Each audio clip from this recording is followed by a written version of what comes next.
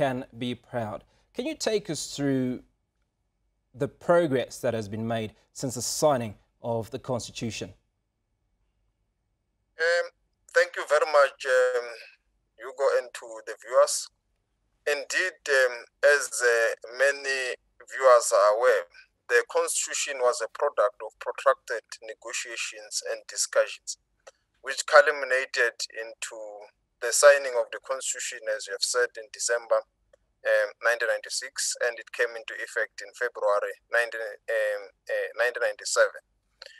Uh, the Constitution, um, as we know now, has lived with us for about 24 years, and it has evolved over time. It was a break with the past and um, we believe that it has effect- effected changes to the lives of many South Africans and in the manner in which um, the society of South Africa was constructed. It has built a social contract and it is the values through which the South African society is seen. The socio-economic challenges remain um, that um, the constitution was also aimed to to level the uh, bring an equilibrium with regards to socio-economic issues we still have a number of challenges in that regard that also leads to high level of inequality in our society. But progress has been registered.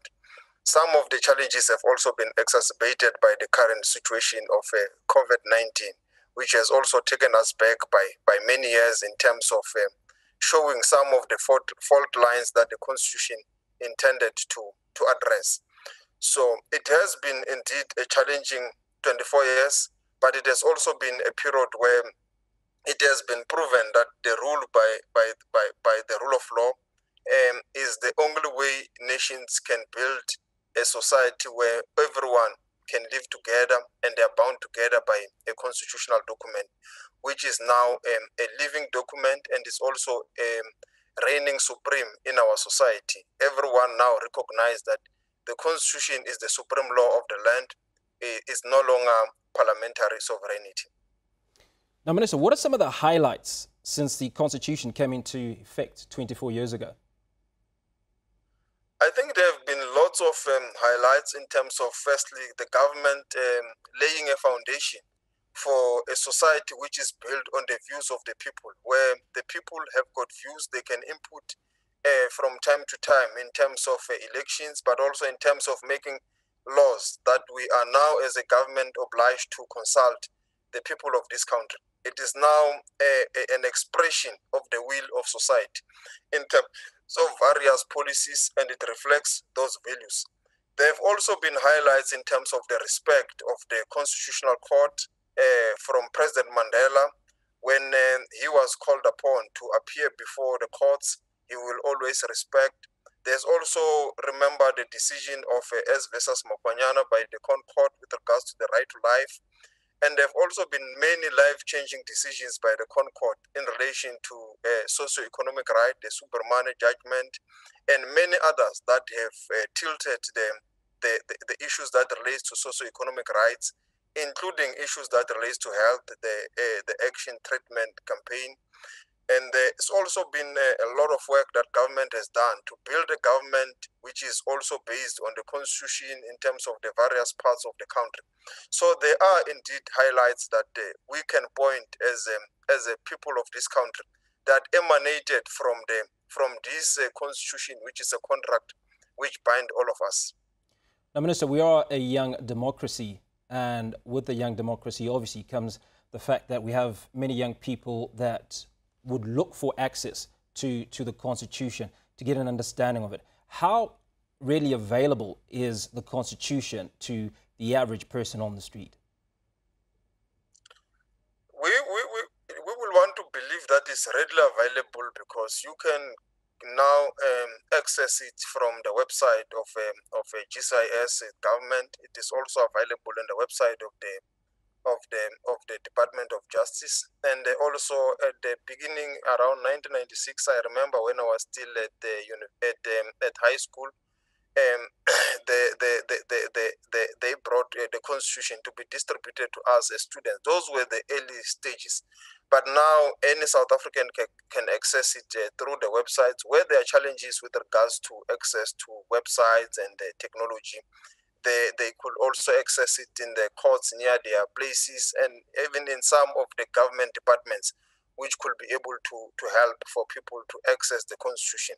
But we also have a branch in the in the in the Department of Justice which is uh, uh, responsible for constitutional awareness and uh, to educate society uh, with regards to their rights and also with regards to, to the constitution itself. Now, given that South Africa has a history of gross human rights violations, how are constitutional rights protected in a democratic South Africa?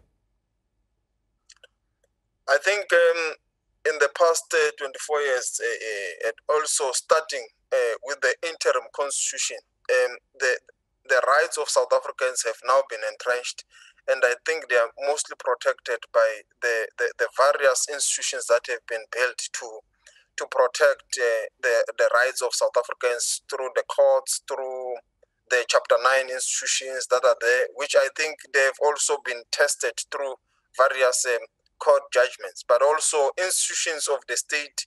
They are also playing a role to, to ensure that they advance the interests and the rights of South Africans through various departments, uh, human settlement, uh, the provision of education, the provision of healthcare, and the various components um, that the, the, the, Bill of Rights um, uh, wants to be protected and also advanced.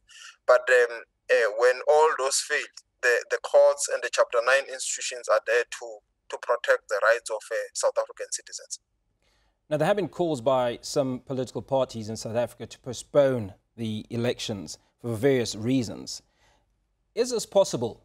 And if so, what would be the processes around that?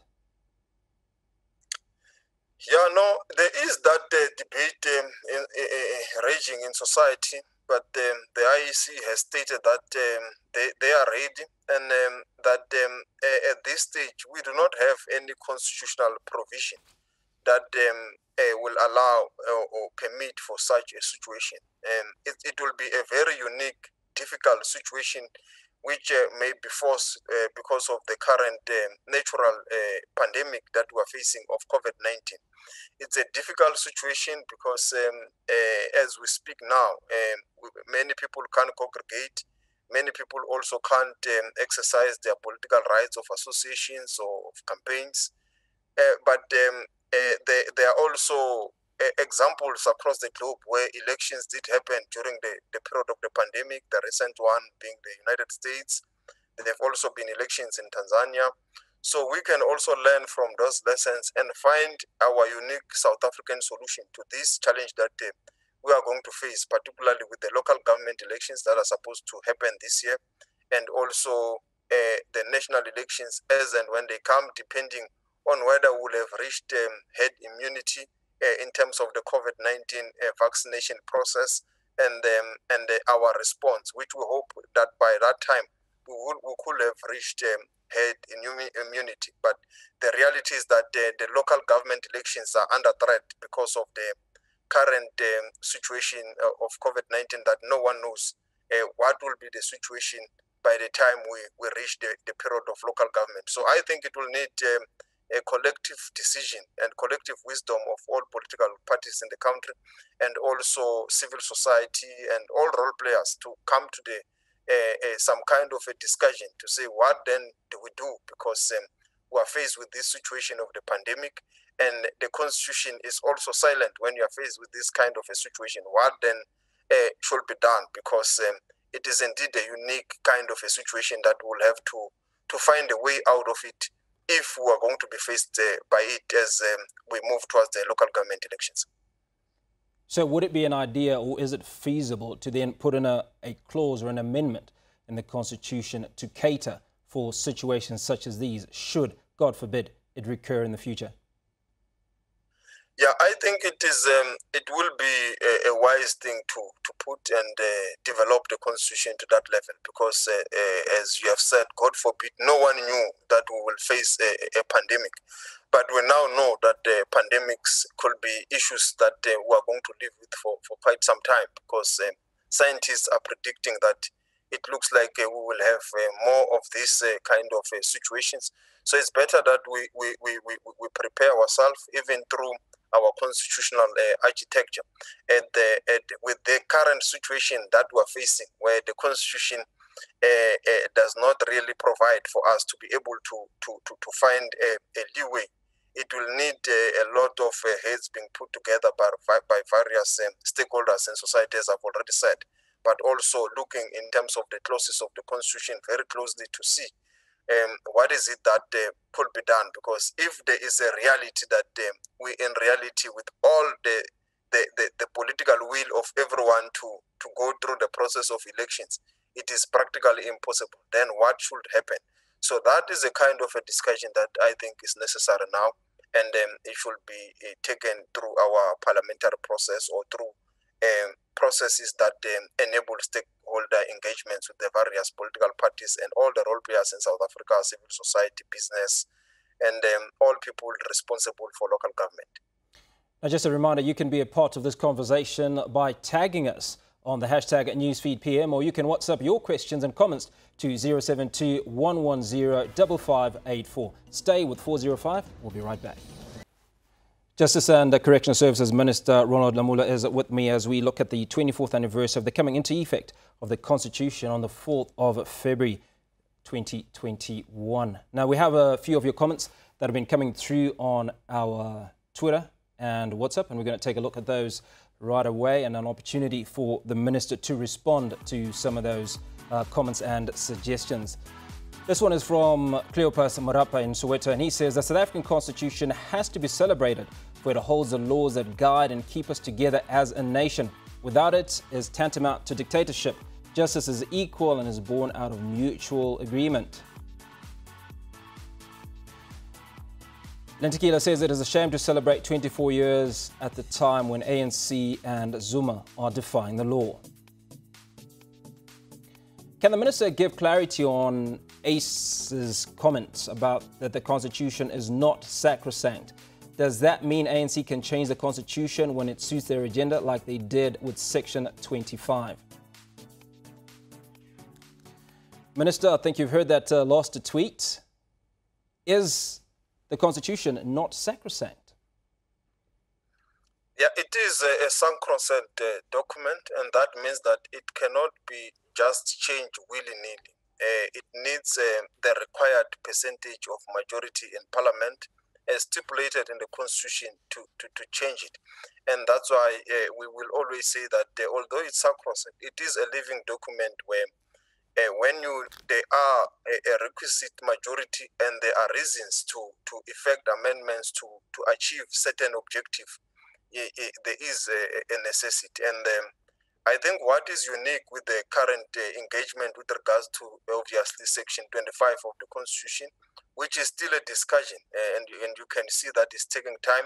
It also shows that uh, all considerations are put in place to ensure that whatever that happens is in line with the Constitution, and even the amendment is informed and um, it is uh, compliant with the Constitution. And that um, it's, uh, it's important for a constitutional democracy that um, it is not an easy thing to to change the, the, the, the constitution. But um, where there have been uh, issues that have been identified and Parliament is in agreement, it should be practically possible to to, to do so. Um, and um, I think uh, with regards to Section 25, the other unique aspect is that um, it will be for the first time that um, we, we amend the Bill of Rights um, since uh, it was uh, adopted uh, 24 years ago, the Constitution. The Constitution has been amended many times, uh, various sections of the Constitution. But um, the chapter two, which uh, deals with the Bill of Rights, has never been amended. And this will be the first time as we deal with the issue of Section 25, which is an important issue because even the preamble of the Constitution speaks about uh, redressing the imbalances of the past. And um, uh, and I think that is what uh, the debate and the discussion happening in Parliament is aiming to do to redress the imbalances of the past. So it is consistent with the constitution itself and the preamble. And um, I think uh, with regards to to the to the second comment about um, that the, the, ANC is defying uh, uh, or is not obeying the constitution, the the ANC um, has uh, committed itself on several occasions to to obey and to comply with the constitution. Um, hence, um, it chose from the beginning, from ready to govern, it, uh, it spoke about um, a, a, constitutional democracy rather than a parliamentary sovereignty. And when we speak about the constitutional uh, democracy, it means that the co- constitution is the supreme law of the country, and the constitutional court is the final arbiter on any matter in the which is adjudicated upon uh, on constitutional issues. So they, can't be gainsaying about the commitment of the ANC. It has got a proven track record in the past uh, 24 years of respecting the constitution, and um, hence um, even the constitution itself is a product of the ANC's inputs and engagements because the ANC does not just exist for itself, but it exists to change the lives of South Africans and also in the interest of, uh, of South Africa. It also recognizes the constitution as the supreme law. And um, that's why you can go to all historical documents of the ANC. It does speak about um, the issue of um, the, the, the, constitutional democracy. Even long before we, we, we, we adopted the constitution and we achieved the period, uh, the, the, the freedom uh, in 1994, the ANC was already speaking about the role of the constitution as a supreme law. And um, even uh, the Freedom Charter speaks about equality before the law. So we all respect the constitution as a guiding document, and we all respect that we should abide by uh, by the constitution, also abide by decisions of the of the courts. Hence, even in government, um, we, we always abide, respect the decisions of the courts. And I think the ANC also subject itself um, to, to, to, to, to the decisions of the courts and also to the constitution of the country. I'm glad you've raised those issues, Minister. I'd like to quote what you said a few days ago. Uh, he said, and I quote, President Zuma himself, when he introduced the commission, has called for all of us to support the work of the Commission and not to impede its work and to ensure that as a collective wisdom of the nation, we give the support. End of quote. So we have a situation on our hands, and I was hoping you'd be able to, to comment on uh, President Zuma's refusal to appear before the Commission. Yes, um, as uh, as you are, you are saying, uh, President Zuma established the, the State Capture Commission of Inquiry. Uh, he also provided the terms of reference of the of the Commission of Inquiry. He also called upon um, all of us, all South Africans, to to support the work of the Commission. He also called um, all of us to not to impede its work, and um, we expect that um, the same from him and from all South Africans to give support to the Commission, to cooperate with the Commission, to, to, to, to if they've got any issue, the Commission is the good platform to ventilate whatever issues. And um, if you are not satisfied, there is also the courts where you can still ventilate whatever issues that you may want to raise and um, and and argue.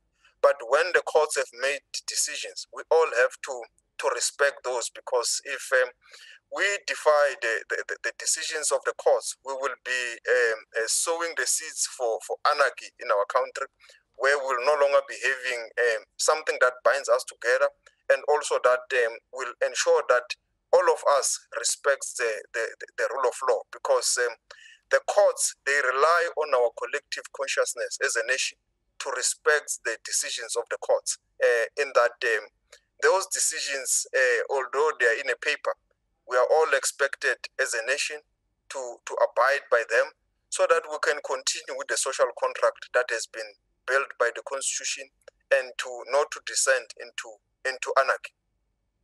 Now, normal channels have failed to persuade uh, President Zuma to go before the commission. Now, what options are available to Deputy Chief Justice Zondo and his uh, commissioners? Yeah, our our attitude as government, uh, and we have been very clear with regards to to the commission is that um, we want to give it its own life. And that I mean that uh, we have given the commission all the, the laws, there's the Commission Act, and as lawmakers, and also the regulations that um, the president um, and uh, President Zuma, when he started the commission, had promulgated, and President Ramaphosa, from time to time, he will uh, uh, amend the regulations as and when the need arise uh, in terms of the request of the commission itself. So the commission has got all the instruments that will enable it to, to function, to, to, to, to, to conclude its work, uh, including instruments uh, to, to, to compel people or to subpoena people to appear before the commission, and also instruments to interact with the courts uh, when some people defy. So the rules of the commission, they were built in such a manner that um, those that uh, cooperate voluntarily, uh, they can still work. And but it has also been built in anticipation for those that may not want to cooperate with the work of the commission.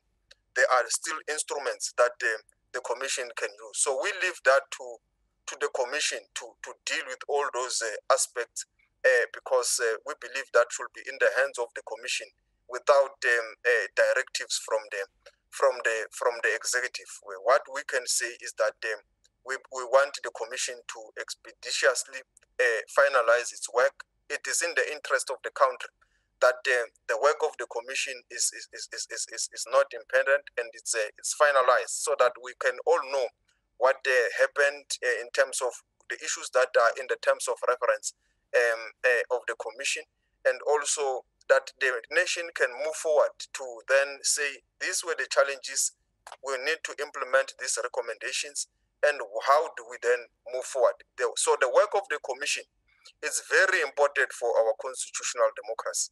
Hence, uh, it has to be supported. It has to, to to be completed, so that the South African society, uh, as a, as a constitutional democracy that we are celebrating today, can then grow and move forward uh, from what we will have learned, the lessons that will come from the from the commission. We have a caller from Pretoria. Kalane, thank you so much for calling 405. Please go ahead with your comments and question. Okay, I wanted to ask the minister uh, why are political parties relevant and what role do they play in the country's constitution? And what section of the ANC constitution are in contrast with the country's constitution? Kalana, thank you for your call. Minister, that question coming from uh, one of our viewers. Yeah, political parties are voluntarily uh, associations where members of society can individually uh, participate uh, in terms of uh, the constitution, which uh, allows for freedom of association, so that they can contribute to the life of the of the country eh, and eh, make their own eh, contribution but you are aware that um, the, the, the, Constitutional Court and even in local government, individuals can also make a contribution.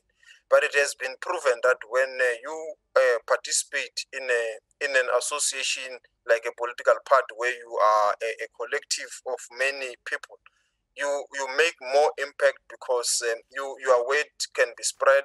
But also, it also means that uh, because um, the, the voting process uh, also involves majority, your voice is more uh, will be more uh, uh will uh, you will enable to, to to gain more seats and participate in the various forums like local government, like provincial legislatures, and also national legislature to to to, to impact the life of, um, of, of, of, of, of any of, of, of our society here or any society in the world and that's how it is across the globe um, the, the, the, the, the, the, the, the, I'm not aware of any clause in the ANC constitution which is contrary to, to the constitution of the country. The, the, the, the, as I've said earlier, the, the ANC, constitu- the ANC uh, does not exist for itself. It exists to impact and, uh, uh, and, uh, and promote the objectives of South Africans. So the constitution of, of the ANC, I'm not aware of any clause which is contrary to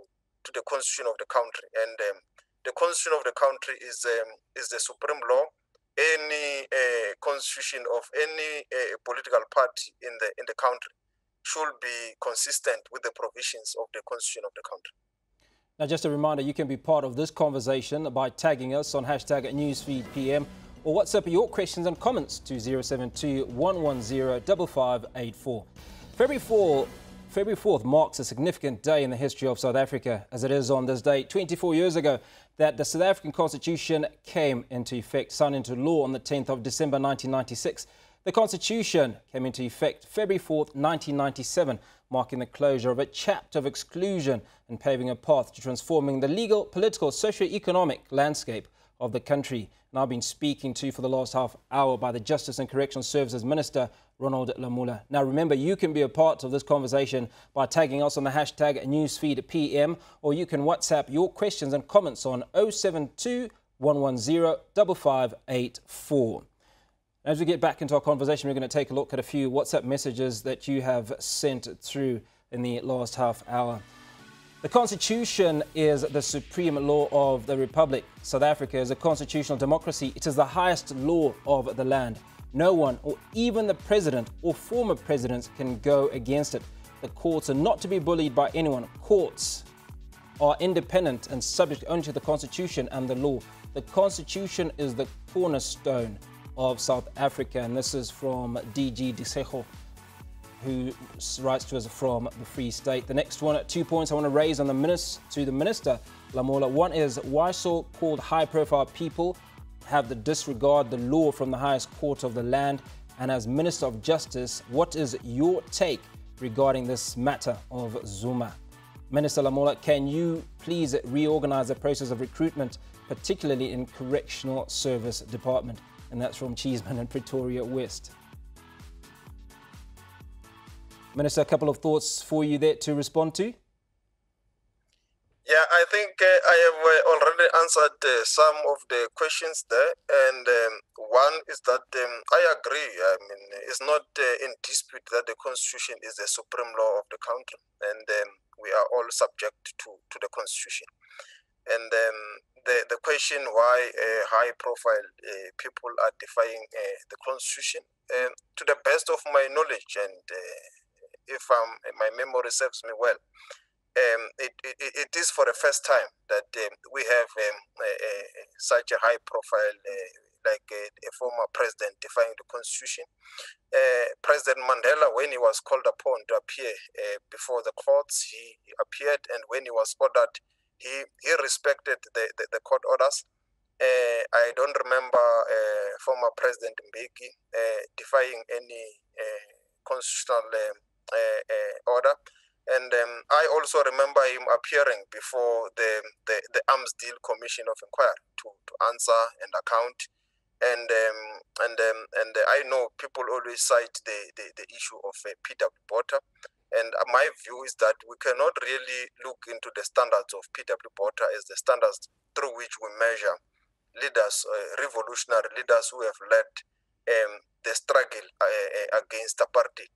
Uh, but anyway, PW Botha went through also the processes where he was convicted in the lower courts, uh, which uh, conviction was overturned by the by the Supreme Court of Appeal on technicalities uh, with regards to the fact that they, raised an issue that um, uh, his conviction uh, uh, uh was uh, on the basis of an invalid process that was followed, or there were technicalities or defects that were followed by the Truth and Reconciliation Commission um, to, to bring him to court or to subpoena him or to the commission, or there was a technicality there. So we cannot use that as an as an excuse for, for any leader now in our in our democracy for for not um, abiding by court decisions and for not um, supporting the work of the of the of the commission and uh, cooperating and ensuring that it is not impeded. So I think we we, we, we there, there is no grounds for, for that comment that the high profile people are, are not obeying the,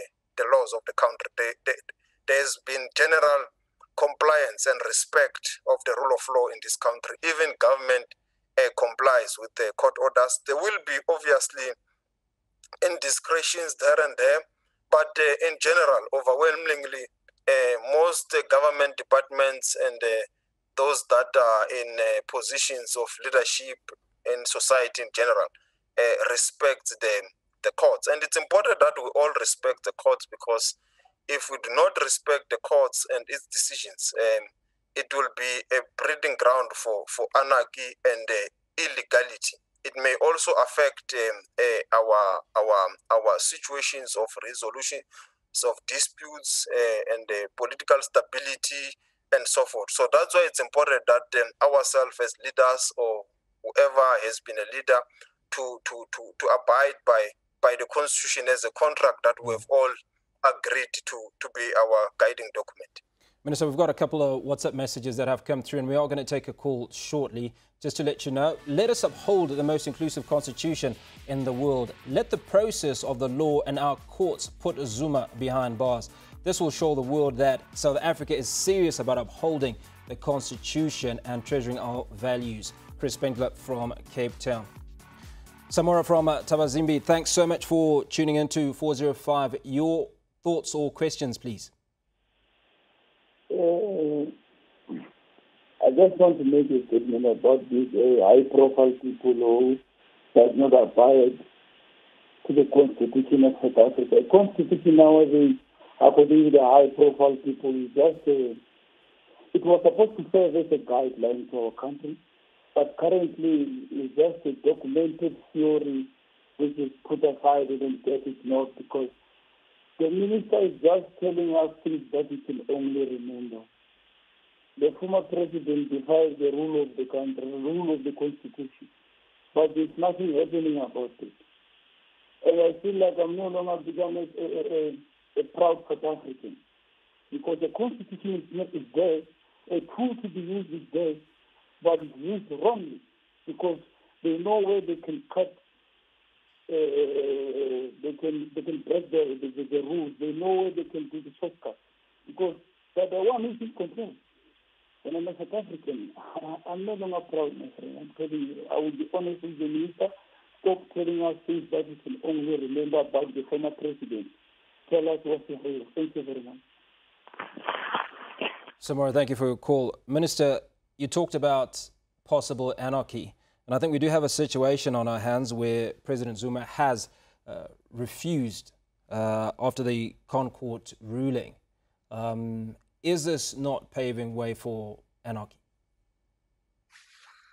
Yeah, I'm not sure what the, the viewer is talking about when he says there's nothing that is being done. I mean, the Commission of Inquiry is still sitting, and I think it is following all the processes and the procedure as stipulated in terms of the Commissions of Inquiries Act and also the regulations that guide the Commission of Inquiry. What should happen when um, a, a, person does not cooperate with the work of the Commission? And I think we need to to give um, that space to, to the Commission to, to do its job in terms of those rules and also in terms of the Act. Sorry, it, maybe, it maybe does, Minister, it, just to, to throw something in there, you had mentioned that the Commission does have instruments that they can employ in the instance uh, where someone like President Jacob Zuma defies in order to appear before the commission. Can you take us through what some of those instruments are, please, in addition to the things that you're already talking to us about? Yeah, the instruments is that uh, they can subpoena, and um, if the person does not want to come, they can uh, also open a case um, against that person with the police uh, to ensure that that person goes through a, a trial in relations to to that uh, failure to to to to abide by by by by the by the by the by the subpoena of the of the, of the commission. So it, it, it has got in our view as the as the as as government we have given the commission uh, those instruments uh, in terms of the law, the Commissions Act, and also in terms of the regulations to enable the commission to to do its work and also to conclude because we are of the view that the work of the commission uh, must be supported and is very important for our constitutional democracy. So, do you see a day if President Zuma continues to defy um, the Zondo Commission where he might face jail time? I don't want to give a hypothetical uh, scenario uh, because I also do not want to give instructions to, to the commission what to do and what not to do. What I'm just stating is what the Commission has as instruments that it can use. But um, it is now up to the Commission itself to then use those instruments that are before the Commission. And uh, as you are aware, the, the, the, there is um, uh, I cannot overlap into the into the work of the judge uh, because we are in the executive. What we do, we promulgate the regulations and the laws that governs the Commission of Inquiry, which in this instance we have done and we believe the Commission does have all the instruments that it can use to ensure that the uh, former President Zuma uh, complies. And, uh, and, uh, and, and, and uh, if it doesn't, then um, they can ensure that all the processes of the law are, are followed. Now, as a member of the ANC, uh, what message is President Zuma's defiance sending to ANC leadership and obviously to the citizens of South Africa as a whole? Yeah, obviously, as you have heard from the uh, uh, comrade Baleka Mbete, it is uh, sending a very wrong message uh, to young people, to to the members of the ANC, in that um, obviously it does not show a respect for the rule of law, and um, it also send the wrong message to the country as a whole in terms of the of the respect of the rule of law. And I believe that um, even if um, there, could be any other issue that may want to be raised, the platform of the commission and our courts that are there are a better place for, for those issues to, to be ventilated in a manner that is still within the confine of the procedures established by by by by by by, by the constitution and the, the processes of the of the of the courts, the judiciary, and also that of the of the of the commission of inquiry. I'd like to take you to a statement that was issued by President Zuma on Monday, uh, in which he contended that his defiance was motivated by the Constitutional Court ruling that he did not have a blanket right to silence in response to the hundreds of questions the inquiry wishes to put to him. Can you take us through what this actually means?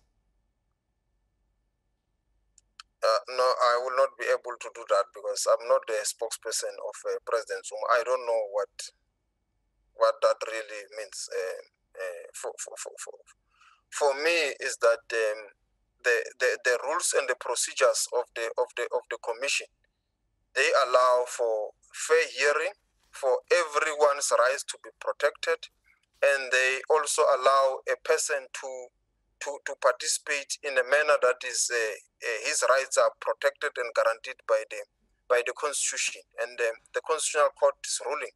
I think it's a it's a it's a it's a, it's, very it's very it's very clear that it says that um, uh, he does not uh, he, he, he has got uh, he does he has got the right not to self incriminate which is uh, something which is guaranteed by the by the constitution and um, it's what is guiding the work of, uh, of, of, of any forum of that nature. So, uh, in, in, in, in my view, is that um, the forum is fair The forum is, um, is in line with the Constitution, is in line with the Commissions of Inquiries Act, and is in line with all uh, universal established uh, procedures of a fair hearing. So I think it's where if anyone has got a gripe with the, those issues, uh, uh, how the commission is run and so forth, he can ventilate those issues in the commission. They can also ventilate them in any uh, other appropriate forum if they are not satisfied with the outcome of the commission. Minister, thank you so much for being a part of this discussion this evening. That was at Justice and Correctional Services Minister Ronald Lamola